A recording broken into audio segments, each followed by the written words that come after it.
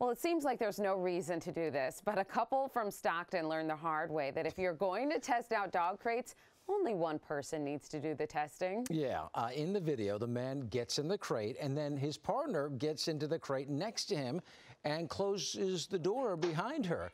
Well, after a few seconds, the couple realized they were both locked mm. in the crates.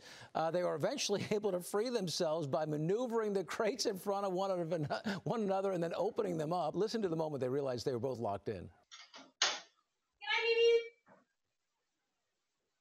I can get out! Jerry,